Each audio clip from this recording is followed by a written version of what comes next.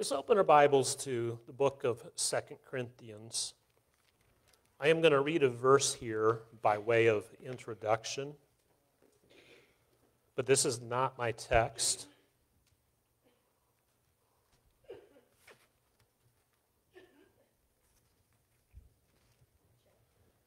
Second Corinthians chapter 3.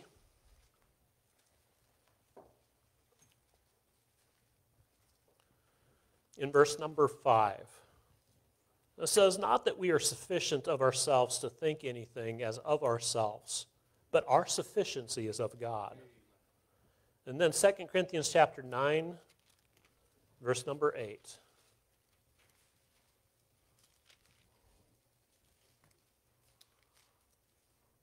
And God is able to make all grace abound toward you, that ye, having all sufficiency in all things, may abound to every good work. Our sufficiency is of God. Now, I'm not going to explain a lot about the verse right now, but our sufficiency needs to be in God. I'm going to pray, and then I'm going to go to the text that I'm going to preach. Father, we bow before you, asking you, Lord, for the wisdom Father, to bring forth your word in the way that we need to hear it this evening. Father, you must increase. I pray that you would be glorified. Lord, not my will, but thy will be done. In Jesus' name we pray. Amen. Judges chapter 9.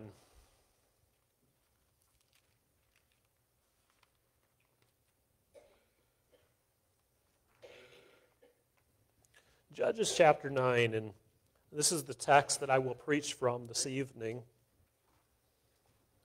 Beginning in verse number 1, it says here, And Abimelech, the son of Jerubbaal, went to Shechem unto his mother's brethren and communed with them with all the family of the house of his mother's father, saying, Speak, I pray you, in the ears of all the men of Shechem, whether it is better for you either that all the sons of Jerubbaal, which are threescore and ten persons, reign over you, or that one reign over you.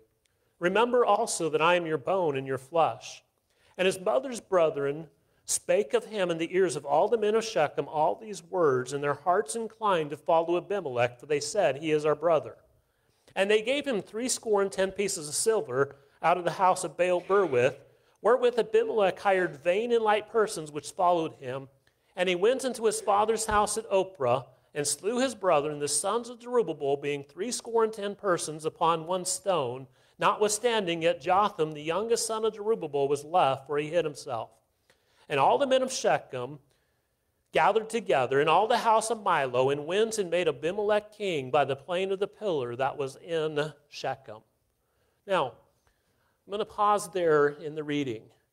Now, I want to explain to you what's going on in this passage of Scripture to make sure we all understand the story and what has taken place. It says here that Abimelech, the son of Jerubbaal. Who is Jerubbaal? That's question number one. Gideon, that's the correct answer. Go back to chapter 8, verse number 35. It says here, Neither showed they kindness to the house of Jerubbaal, namely Gideon.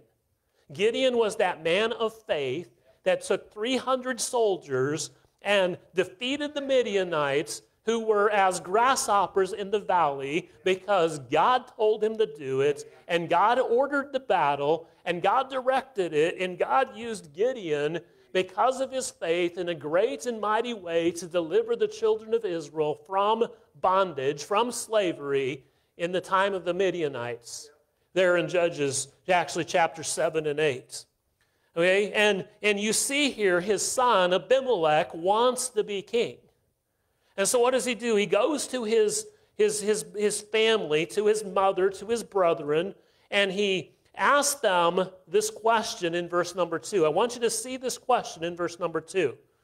Speak, I pray you, in the ears of all the men of Shechem. Now here's the question whether it is better for you either that all the sons of Jerubbaal, which are threescore and ten persons, reign over you, or that one reign over you. You see the question? Now I'm going to ask you the same question. Which would be better? To have the 70 sons of Gideon reign over the nation of Israel? Anybody think that? How many think it'd been better for one man to reign over the nation of Israel? Anybody think that? Uh, how many don't think? Let me tell you, it's a trick question. It's actually a fallacy in logic. It's called the either or fallacy. I'm giving you two choices, but really, it's not the best. The true question is this what was best? That's the real question. What was best? You go back into chapter 8, go back to verse number 22. It says here, Then the men of Israel said unto Gideon, Rule thou over us, both thou and thy sons, and thy sons' sons also, for thou hast delivered us from the hand of Midian. And Gideon said unto them, I will not rule over you, neither shall my son rule over you. The Lord shall rule over you. What was best was for God to be their king. What was best was for God to rule over the nation of Israel, and that's what God wanted. But here Abimelech is trying to take the place of God. He's trying to take that position, and but it's not available. But he's going to make himself king. And so he goes to his brethren, and they, they convince the men of Shechem and the house of Millo to give him 70 pieces out of the house of Baal Berith, which was an idol that Gideon was a, a stumbling block to him and his family and the nation of Israel. And they took those 70 pieces of silver, and it says in the end of verse number four, he hired vain and light persons which followed him, and he goes to his father's house at Ophrah, and he murders his own brethren. But Jotham, the youngest son of Gideon, escaped. Now you begin to ask the question what can Jotham do about this? He's the youngest son of Gideon. If he shows himself to Abimelech, he's going to be killed. He already killed all his siblings. You know, what can Abimelech, what can Jotham do about this? Is there anything that he can do? His brother has just been made king. I mean, you know, it is pretty hopeless, you would think, in Jotham's position. You know, sometimes we look at what's going on in the United States of America. I heard a lot of prayer tonight for the United States, a lot of prayer for our country. And you look at what's going on in this nation, and we begin to look back and, and look at what's going on and say, You're going to watch that 2,000 Mules tomorrow night. You're going to see that video unplanned. I mean, you got to realize that, I mean, um, Satan is the prince and the power of the air.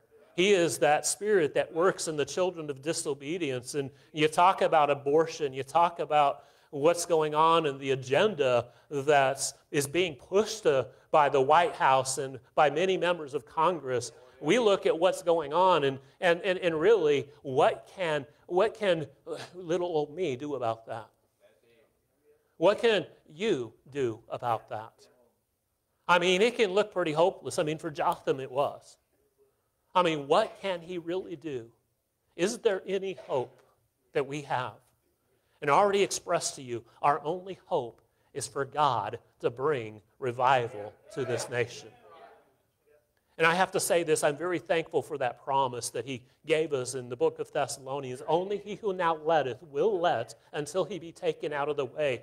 And I am thankful that we have the Holy Spirit of God, that anointing of God that is literally pushing back this evil that is being perpetrated on the world. And, and, and really, the hope eh, of America rests in this, in, in you. It rests in this church. And in every little church just like it across this nation. Let me tell you, we have hope. Jotham has a hope. Now, Jotham's going to go into a parable. And I want you to understand here just a little bit of to help you to comprehend what's going on here. Okay? Where there is authority, there is influence. Okay? Where there's authority, there's influence. God put parents in charge in the home. They're an authority.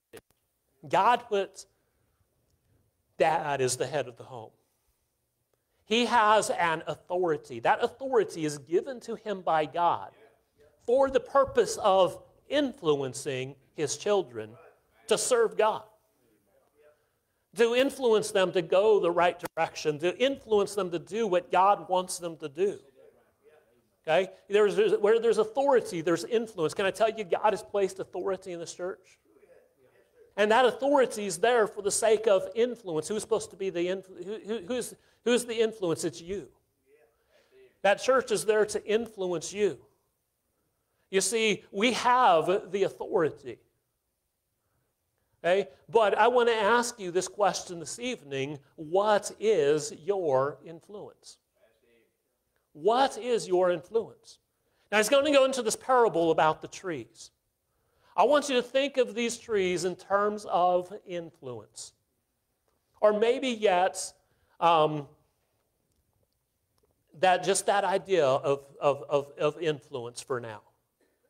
Okay? You know, and when you think of a tree, you go and you get an apple off a tree and you take a bite of that apple, it has an influence upon you.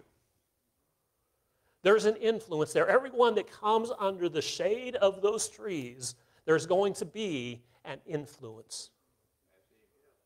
Right? And so he's going to go into this parable here. Spurgeon said of this passage of Scripture that is one of the greatest treasures of wisdom that we can find in the Old Testament if we can truly understand its depths. And I tell you, there's a lot more wisdom here than what I'm going to give you in the next how many ever minutes this takes me to go. Okay? Now, verse number seven. It says here, and when they told it to Jotham, he went and stood in the top of Mount Gerizim. Now I'm going to pause right there. Mount Gerizim. What was Mount Gerizim known for? Mount Gerizim was the mountain of blessing. When the children of Israel came into the promised land under Joshua's leadership, half of them got up on Mount Gerizim and proclaimed the, the, blessings of the Lord. In other words, if we obey God, if we do what He tells us to do, if we keep His commandments, if we have this relationship with God, then God is going to protect us, He's going to feed us, He's going to sustain us, He's, he's going to take care of us. The other half got up on Mount Ebal and proclaimed the curses of the Lord. In other words, if we don't, God's going to judge us. He goes to the top of Mount Gerizim, and he lifted up his voice and cried and said unto them, Hearken unto me, ye men of Shechem, that God may hearken unto you. Now, can I say there's authority in that statement? There's authority there. Hearken unto me, that God may hearken unto you. Can I tell you, that is a missionary's message when he goes to a foreign country? That is your message when you go across the streets with the gospel of Jesus Christ. Hearken unto me, that God may hearken unto you. I want you to know God.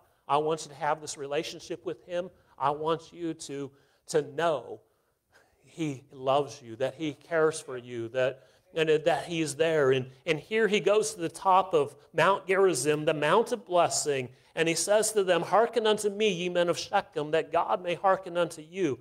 And there's authority there. Now He's going to go into this parable now about the trees. It says here in verse number 8, says the trees went forth on a time to anoint a king over them, and they said unto the olive tree, Reign thou over us. But the olive tree said unto them, Should I leave my fatness, wherewith by me they honor God and man, and go to be promoted over the trees? Now the trees got together, and the trees decided we're going to have a king. And so they go to the olive tree first and say to the olive tree, Olive tree, will you be our king? And the olive tree says, Oh no, I'm not going to be your king. And what's the reason the olive tree gives for not being their king? It says in verse 9, Should I leave my fatness wherewith by me they honor God and man and go to be promoted over the trees? Should I leave my fatness? What is he talking about? Is this a weight loss program? Should I leave my fatness? And no, that's not what it's talking about. Okay? Hey, what, what, what, he's, what he's saying here is a great truth. Should I leave my fatness? What it, Scripture interprets Scripture.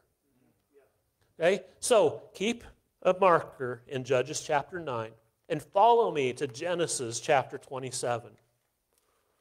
Genesis chapter 27. In Genesis chapter 27, Isaac is an old man. He's got two boys, Jacob and Esau. They're twins. They're not identical, but they're still twins. Esau was the hairy man, he was the hunter, he was the wild man, and daddy liked him. Jacob was the plain boy, and he was mama's boy. Okay? But Isaac wanted to give the blessing to Esau, but God wanted it to go to Jacob. And so he tells Esau, Go out and get me some venison, bring it in and cook it and prepare it. And he said, I'm going to give you the blessing. Mom tells Jacob to go get a kid out of the flock. And mom took it and seasoned it and cooked it like dad liked and put on that goat's hair on the back of his hand and the back of his neck. And he went in and deceived his father. And the blessing went to Jacob where it belonged. And in the midst of this blessing, one verse here, verse number 28. It says, Therefore God give thee the dew of heaven, and fatness of earth, and plenty of corn and wine. What is that fatness? That fatness is the blessing of God. Can I tell you what is your influence? Your influence is the blessing that God has given to you. You say, What do you mean? Listen, we live in the United States of America. We have been given the blessings of God beyond measure. I mean, we have become one of the wealthiest nations in the world. I mean, we have more wealth, you know, per capita, per person than we do literally anywhere else in the world. We have the freedom of religion. We have the freedom to worship God. I mean, we have we have freedom here in the United States of America, and it hasn't been given to us for the sake of us becoming king. It's been given to us for the sake of influence. Proverbs chapter 3, verse 9 Honor the Lord with thy substance and with the first fruits of all thine increase. In other words, God has given us this fatness not for the sake of me becoming king, but for the sake of honoring and glorifying our, the King of Kings and the Lord of Lords. Okay, God has given it to us for the sake of those missionaries you have on that board. He's given it to you for the sake of, of the people here in this community and, and, and, and, and the neighbors across the street to be able to take the gospel of Jesus Christ and give it to them. And, and to take it to people across Kentucky and across the United States of America and literally around the world. God has given to us that fatness. We have been given an influence. 1 Corinthians chapter 10 verse 31 whether therefore ye eat or drink or whatsoever ye do do all to the glory of God. We are to take that fatness that God has given to us, that blessing that God has, has bestowed upon us, and, and we're to use it for His honor and glory, to promote His kingdom and His authority and His his rule in this world. And let me tell you what, God rules and reigns in the affairs of mankind. And you know, we are here to, you know, to advance his kingdom. You know, we're here to glorify him and to lift him up. Going back to Judges chapter 9. The trees haven't given up on having a king. In verse number 10, it says, And the tree said unto the fig tree, Come thou and reign over us. But the fig tree said unto them, Should I forsake my sweetness and my good fruits, and go to be promoted over the trees? Now they come next, they come to the fig tree and say to the fig tree, Fig tree, will you be our king? And what does the fig tree say? Fig tree says, Oh no, I'm not going to be your king. What's the reason? The reason is, as he mentions there in verse number 11, should I forsake my sweetness and my good fruit? to go to be promoted over the trees. What is that sweetness? What is that good fruit? And tell you where did that sweetness and that good fruit come from? Can I say it's the way God made it? It's the way God made that tree. And, and those things are given to us by, by God. What is that sweetness? Look at Proverbs chapter 27. Proverbs chapter 27, verse number 9 says here, Ointment and perfume rejoice the heart, so that the sweetness of a man's friend by hearty counsel. Where does the sweetness come from? The Bible says in John 8 32, you shall know the truth, and the truth shall make you free. John 8 36, if the Son therefore shall make you free, ye shall be free indeed. 2 Corinthians 5:17 therefore, if any man be in Christ, he is a new creature. Old things are passed away. Behold, all things are become new. What is that? What's that sweetness? That sweetness comes to us because we are children of God. We have the Holy Spirit of God living within us. We have the anointing of God. We have the assurance of our salvation. We have this relationship with God. We have been given that sweetness. And that good fruit, what is that good fruit? Where does that good fruit come from? That good fruit comes because we're yielded and surrendered to the Holy Spirit of God in our lives. And that fruit, that fruit of the spirits is love, joy, peace, long suffering, gentleness, goodness, faith, meekness, temperance. That fruit has been given to us by God. The fruit of the Spirit, one fruit. One fruit manifested in nine different ways in our life. We have been given that fruit of the Spirit not for the purpose of us becoming king, but it's been given to us for the sake of influence.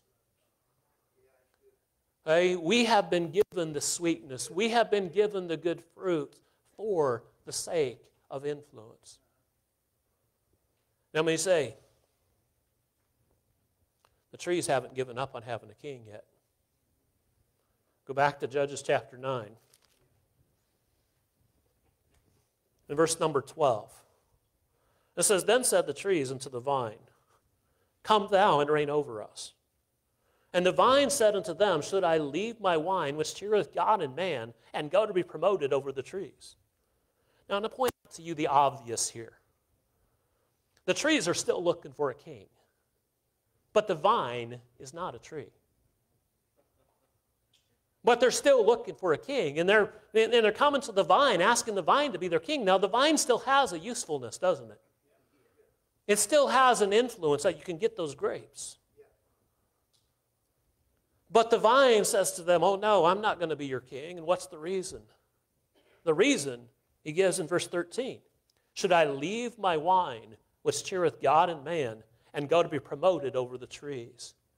Now, let me point out here, first of all, to you. So it says, Should I leave my wine? Where is the wine?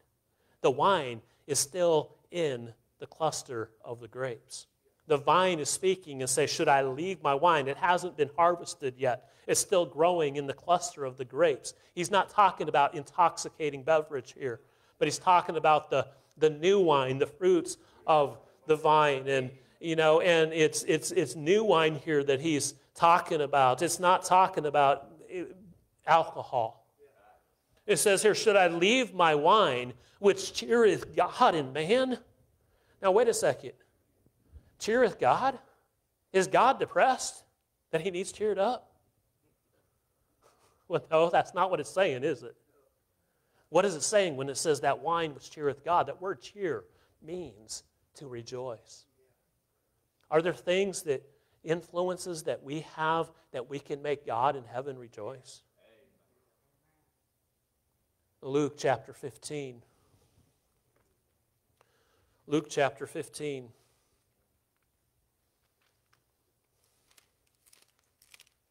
Jesus goes into the parable of the lost sheep.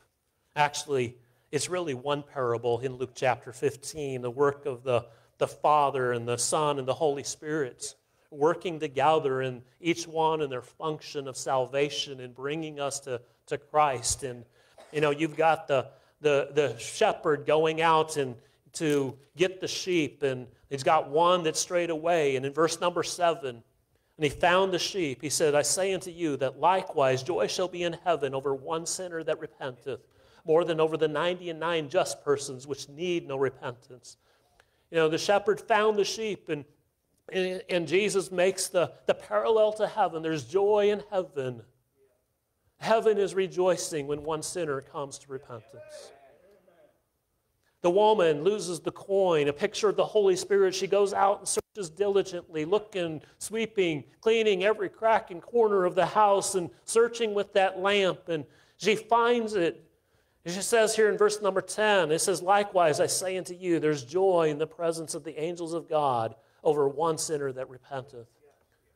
Who is that that there's joy in the presence of the angels of God? Who is in the presence of the angels of God but God Himself?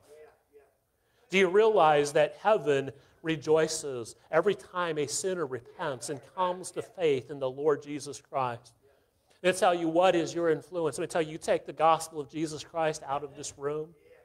And I tell you, you share the gospel with somebody, they pray, they put their faith and trust in Jesus Christ. Let me tell you, heaven rejoices and that cheers the heart of God and man because you're bringing that man into that relationship with God.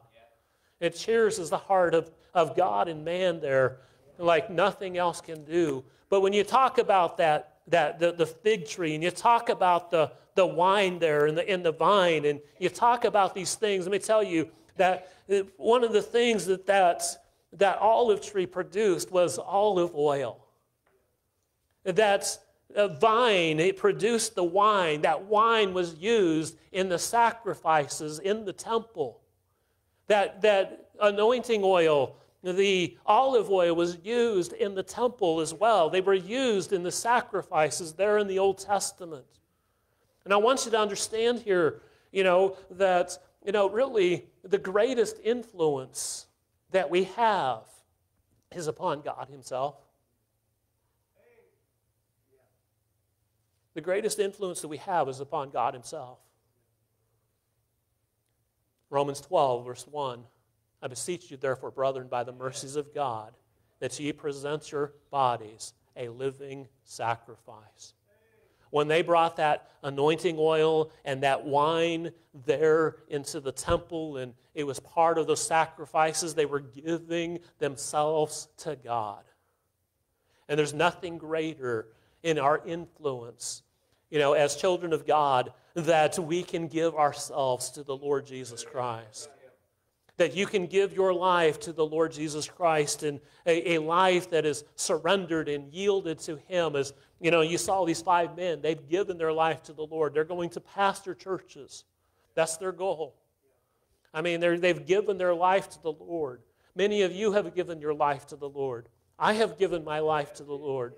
You know, and, and, and tell you that life that is surrendered to the Lord Jesus Christ is a life that, that has an influence.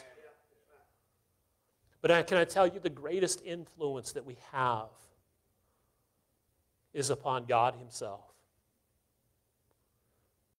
We oftentimes say, prayer changes things. Spurgeon put it this way prayer is the slender nerve that moves the muscle of omnipotence. Prayer. I tell you, there's, there's so many verses that we can look at on, on prayer. Let's just let's look at Hebrews. Hebrews chapter 4 and verse number 16. I think I heard somebody reading my notes. Hebrews chapter 4, verse number 16. It says, Let us therefore come boldly into the throne of grace, that we may obtain mercy and find grace to help in time of need.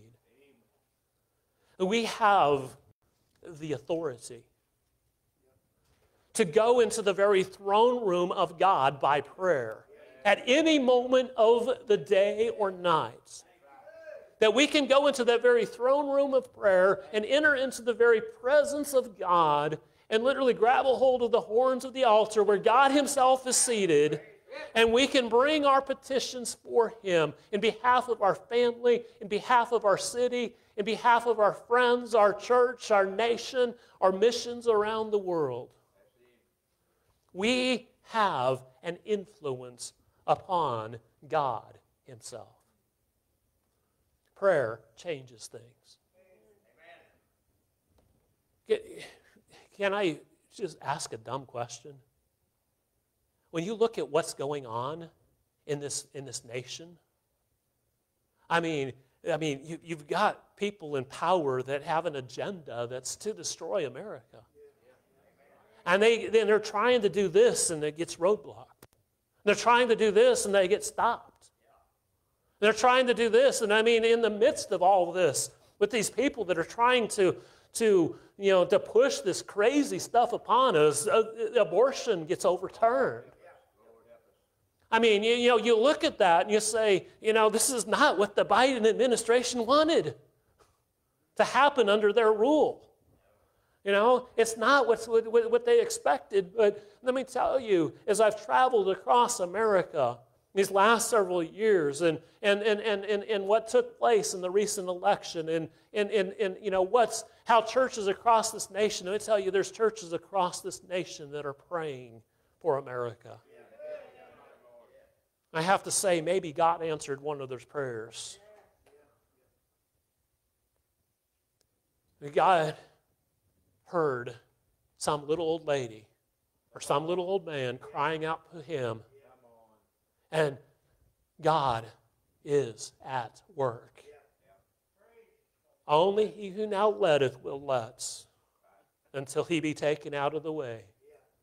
And thankful that we're able to, let me tell you what, by the power of prayer, we have the ability to push back against this evil. I tell you, we have an influence. Now, go back to Judges chapter 9. If the, the trees haven't given up on having a king yet. In verse number 14, and so then said all the trees unto the bramble, Come thou and reign over us. And the bramble bush said unto the trees, if in truth you anoint me king over you, then come and put your trust in my shadow, and if not, let fire come out from the bramble and devour the cedars of Lebanon. Now, the trees, next, they, they go to the bramble and ask the bramble bush to be their king. Now, can I point out to you the obvious? The bramble bush is not a tree. But the trees haven't given up on having a king. And they come to the bramble bush, and, and you understand what the bramble bush is. I mean, you get out here through these woods, and you're going to come across some thorny bushes. I mean, and you're going to get those, those thorns in your, your, your socks, and, and, and they're going to get into your legs, and you get your hands in there, they're going to get into your hands. I mean, those thorny bushes are going to hurt. And they come to the bramble bush. Let me tell you, the bramble bush has no purpose at all. It is a totally worthless bush. And the bramble bush here is being paralleled to Abimelech. And they come to the bramble bush and say to the bramble bush, Bramble bush, will you be our king? And what does the bramble bush say? Oh, yes, I'll be your king. What does the bramble bush say? It says, If in truth you anoint me king over you, then come and put your trust. You know what the bramble bush is saying? I'm here from the government. I'm here to help you.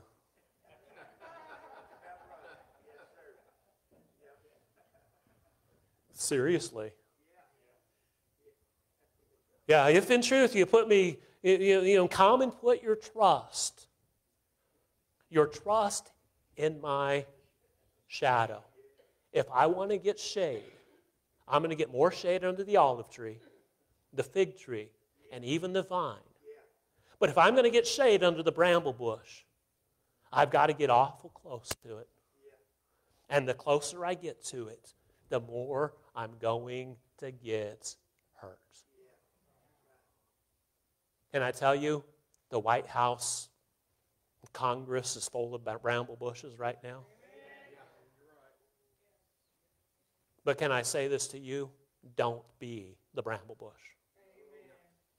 Don't be the bramble bush. Because you don't want people to get close to you and get hurt.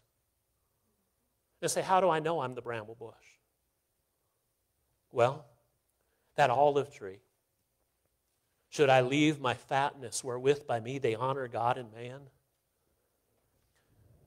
We become the bramble bush when we forget that those blessings have been given to us by God. And we're not using them to honor and glorify God like the way God wants us to. I become the bramble bush as we looked at that fig tree and I forsake my sweetness and my good fruits. And, and you know, talk about just, you know, becoming sour, forsaking their sweetness. That good fruit, I'm no longer yielded to the Holy Spirit. I become angry and bitter and, and, and, and indifferent to the things of God, and, and you know, and, and, and we become the bramble bush. Okay? I become the bramble bush when, when, I, when, I, when I leave that ability to make heaven rejoice. When I forget that God wants me to win souls and bring people to Him, He wants me to take the gospel out to these people. I lose my, my I, I lose that ability to cheer God when I lose that ability to touch the throne room of God in prayer and go to God and bring my petitions and my requests to Him. I become the bramble bush. If in truth you anoint me king over you, then come and put your trust in my shadow. Psalms 91 1. He that dwelleth in the secret place of the Most High shall abide under the shadow of the Almighty. He that dwelleth in the secret place of the Most High is going to abide under the shadow. What is Abimelech doing? He's taking the place of God. He's taking that position. He says, Come, put your trust in my shadow. Can I tell you that in God, He is our sufficiency? And that's where I started. Our sufficiency is of God, our sufficiency is in Jesus Christ. Okay? Our sufficiency must be in Him. And, and, and, and, and you know, when, when, when the bramble bush wants to become king, he wants to elevate himself to that position. You know, he's, he's taking that position away from God. That's olive oil was used for the anointing. Can I tell you the greatest influence that we have is the anointing of God upon us? The greatest influence that we have is, is that sweetness and that good fruit that God has given to us you know, that, uh, that, that, that dwelling in the secret place of the Most High, you know, that gives us that relationship with God and the authority to enter into His very presence by, by prayer and to bring our petitions before Him and to know that God is going to hear and answer my prayer. And to tell you, you dwell in the secret place. That secret place is that place of thanksgiving because God has given to us the fatness. That, that secret place is that place where I have been given that sweetness and that good fruit. Why? Because I'm yielded to God. I'm yielded to the Holy Spirit. You know, hey, that's, that, that secret place is, is that place where I have the ability to cheer the heart of God. I have the ability to influence the heart of God by prayer. I have the ability to move heaven on my knees at the behalf of whatever the request is that we're lifting up to Him.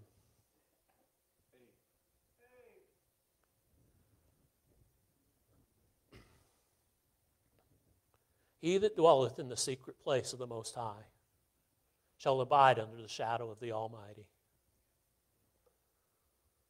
What goes on here in the rest of this chapter is nothing but murder and treachery and deception and betrayal. All this crazy stuff goes on. But I want you to see the last two verses of the chapter verse 56 and 57. It says, Thus God rendered the wickedness of Abimelech, which he did unto his father, in slaying his seventy brethren and all the evil of the men of Shechem did God render upon their heads, and upon them came the what? The curse of Jotham, the son of Jerubbaal. He started on Mount Gerizim, the Mount of Blessing. But upon them came the curse. Why? They did not take heed to the parable. Instead, they made Abimelech king and followed him. And when we are right with God, the blessings of God are ours. But if we refuse, if we try to take those things to ourselves and we use them for our own sufficiency, I tell you, we live in the United States of America. I would dare say that even though this country is in danger, most of you are financially secure. I don't think there's anybody that maybe is really struggling with finances. I don't know. Maybe there are. But can I say we have that blessing from God? And it's easy to become sufficient in ourselves. We have that relationship with God. We have that sweetness. We have that, that good fruit. It's easy to become sufficient, self sufficient. We're going to church. We've grown up in church. We've been in church our whole life. It's easy to become self sufficient.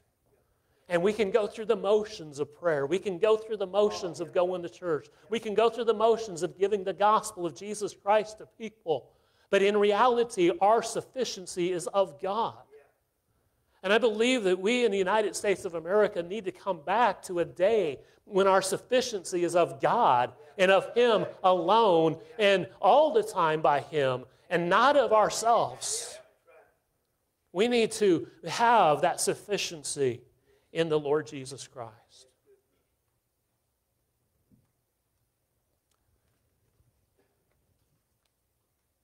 I don't know exactly how the Lord has used this message in you in your hearts this evening. But I'm going to pray and turn it over and let you do the invitation however you feel or whoever is doing that. Let's pray. Father, we thank you, Lord, for this time. Thank you for your word. I pray that you'll bless, Lord, in this time of invitation. Lord, may you truly be our sufficiency. In Jesus' name we pray. Amen.